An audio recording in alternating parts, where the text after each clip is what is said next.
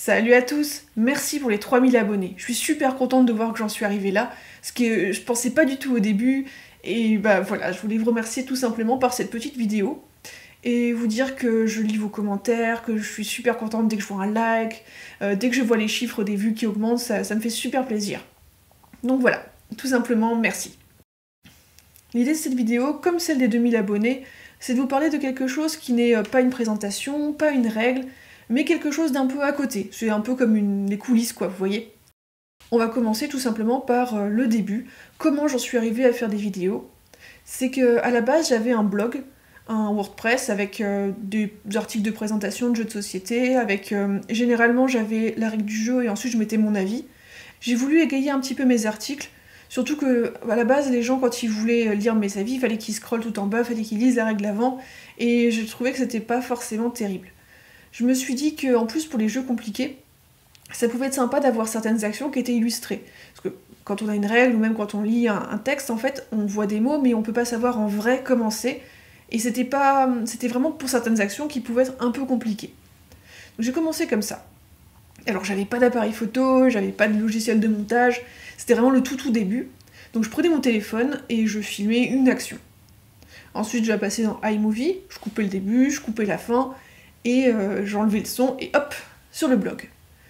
C'était vraiment, par exemple, bah, Flamme Rouge, je montrais l'aspiration, je montrais aussi comment se déplacer, ce genre de choses. C'était des vidéos très très courtes.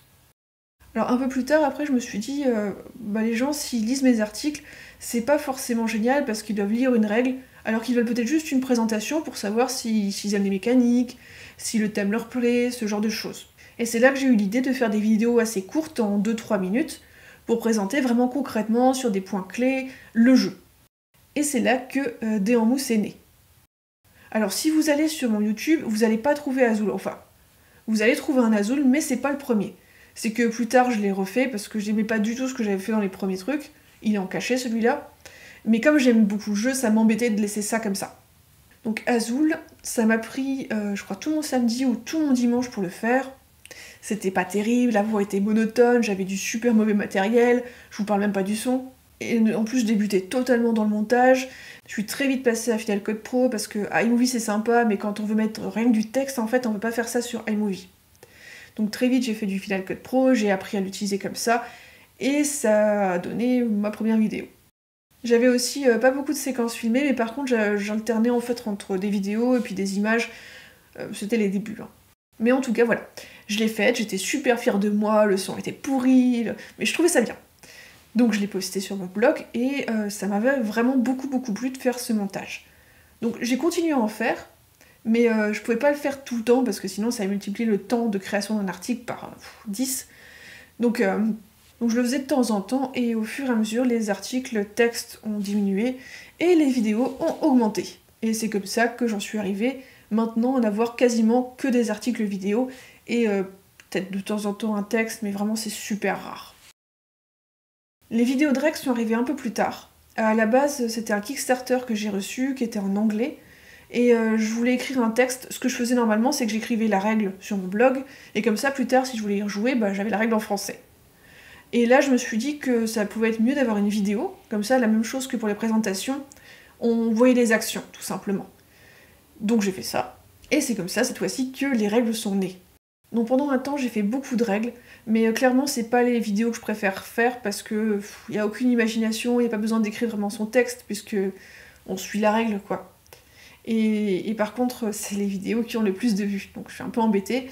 Mais bon, maintenant j'en fais plus beaucoup en fait, je fais beaucoup de présentations parce que j'aime ça, j'essaye d'autres formats, mais les règles, euh, si je peux, j'évite. On va revenir au blog. Donc mon nombre d'articles écrits diminuait, mais par contre mon nombre de vidéos augmentait je me suis mise à faire d'autres articles. À la base, j'écrivais vraiment, comme je vous disais, les règles, puis ensuite mon avis. Et là, j'ai voulu faire des petits articles qui regroupaient euh, plusieurs jeux. J'avais euh, genre 5 jeux qui tiennent dans la poche. Je sais plus s'ils s'appellent comme ça, mais en gros, ce genre de choses-là. X jeux qui font ça, voilà, sur tel thème, etc. J'en fais maintenant un petit peu en vidéo, mais, euh, mais là, c'était des textes. Et je m'étais dit que ça pouvait être sympa de reprendre aussi l'idée donc des vidéos de départ, de mettre des vidéos dans les articles pour présenter. Et là, c'est des vidéos en 30 secondes qui sont nées. Quand je faisais des vidéos de, en 30 secondes, c'était des vidéos de présentation que je déclinais en vidéo en 30 secondes. Donc pour moi c'était facile, j'avais un petit texte à écrire, je l'enregistrais, je récupérais les images, montage, et c'était bon. Et là j'ai pu mettre dans quelques articles comme ça, je trouvais ça sympa. Mais là par contre c'était des vidéos qui ne plaisaient pas trop, il n'y avait pas beaucoup de vues, les gens ils comprenaient pas trop, ils disaient que ça allait trop vite. Donc maintenant j'ai arrêté, mais en tout cas elles sont nées de cette idée toujours de base, tout tout tout au départ, qui était de euh, mettre des vidéos dans les articles pour euh, dynamiser un peu et permettre aux gens d'avoir quelque chose d'autre que du texte. Alors au niveau du montage, au début, comme je vous ai dit, j'étais sur iMovie. Je suis très vite passée sur Final Cut Pro parce que je voulais mettre des textes. Et euh, j'ai un Mac, c'est un MacBook 11 2015 avec un i7. Donc il est pas mal. pour les vidéos qui sont un peu lourdes, par contre, il a un petit peu de mal. Mais sinon, il fonctionne super bien. Le truc, c'est que je faisais mon montage pendant très longtemps, avant le confinement en fait, je faisais mon montage dans les transports en commun. J'ai toujours eu beaucoup beaucoup de RER à faire, et c'était super pratique.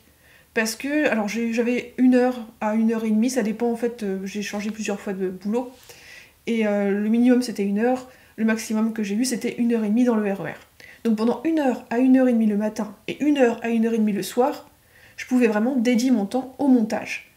Et en fait, euh, c'était, moi je trouvais que c'était un bon rythme. Ça me permettait vraiment d'avoir du temps pour ça et d'être tranquille. En plus, comme ça, c'était du temps perdu à la base, bah là, je le rentabilisais. Là, avec le confinement, c'est un peu plus compliqué parce que bah, j'ai plus ce temps dédié. Et quand on est chez soi, c'est super compliqué, je trouve, de, de, trouver du temps en fait. Le soir, j'ai pas forcément envie, j'ai pas ce, ce temps. Je trouve ça complètement différent et plus difficile. Du coup, euh, des fois, j'ai pas de vidéo.